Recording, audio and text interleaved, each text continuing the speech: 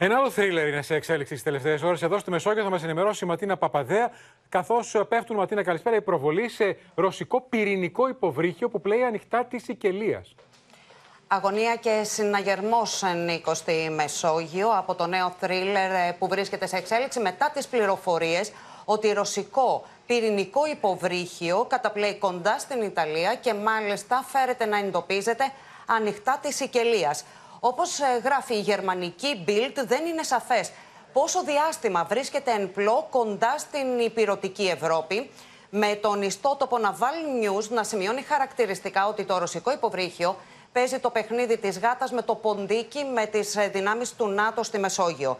Οι ίδιες πηγές υποστηρίζουν ότι πρόκειται για ρωσικό επιθετικό πυρηνοκίνητο υποβρύχιο εξοπλισμένο με πυράβλους κρούς με το ΝΑΤΟ να έχει τεθεί σε συναγερμό και να έχει στραμμένα τα βλέμματα πάνω σε αυτό.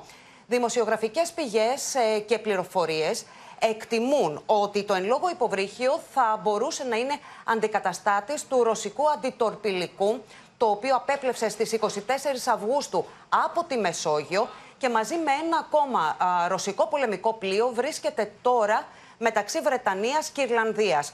Προσθέτουν ότι πιθανότατα το αντιτορπιλικό επιχειρεί αντιπερισπασμό, να αποσπάσει δηλαδή την ε, προσοχή από το ρωσικό υποβρύχιο που κινείται στα ανοιχτά της Ιταλίας.